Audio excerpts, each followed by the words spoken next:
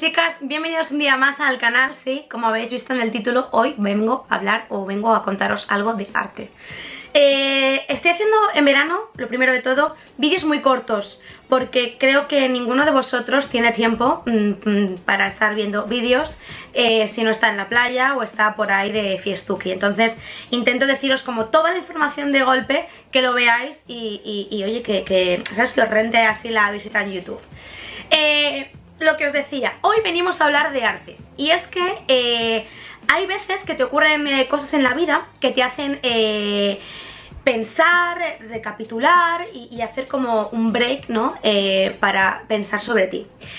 muchas de las veces, trasladado a mi trabajo, veis trabajos directamente, ¿vale? No sabéis cómo se hacen, no sabéis en qué me inspiro, no sabéis qué procesa mi cabeza para llegar a, a esa creación. Lo primero de todo es que eh, muchas veces tampoco somos conscientes de que la persona, en este caso eh, mío, maquillador, que tú le estás solicitando un maquillaje, le estás dando una serie de tips, una serie de, cositas para, saber qué es lo que quieres, el maquillador que está viendo el look final. Yo ya tengo en la cabeza esa visión final. Y mm, vosotros lo que veis, el resultado. Pero lo que es el proceso y, sobre todo eh, cómo ese cerebro crea ¿vale? Sobre la marcha y siempre, en mi caso, el maquillaje al gusto del cliente. Eh, es muy interesante. Podríamos estar hablando aquí horas y con gente que trabaje en otros gremios artísticos que son miles, eh, también podríamos seguir debatiendo y, sacando de nuestro cerebro nuestras, nuestros sesos. Y todo esto que os estoy contando, que os estoy largando, es por lo que os voy a contar ahora. ¿Veis esto de aquí, verdad? Y esto que se ve aquí. Vale, pues esto son dos obras de Fernando Montero.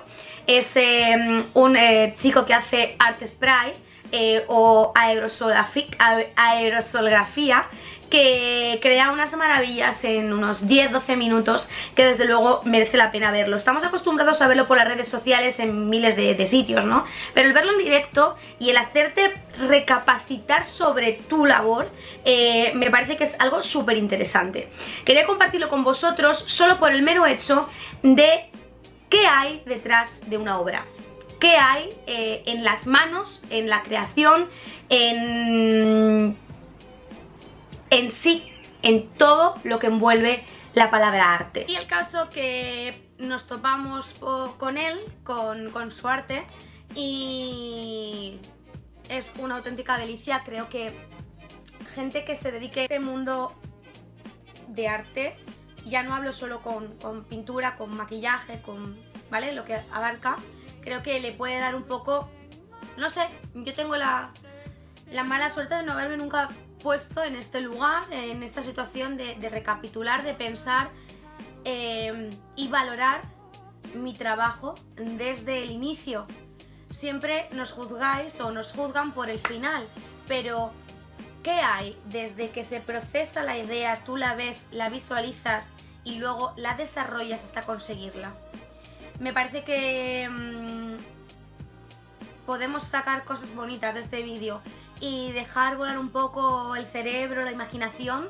Así que espero que os guste el vídeo, sabéis que esto es algo que jamás he hablado y que he intentado no tener un guion, no explayarme, pero mm, de verdad quiero, quiero que, que, lo mismo que, con, las, con el trabajo, con las manos de, Fernando, yo he aprendido a visualizar eh, mi labor, ¿vale? Mi, mi, trabajo, mi arte.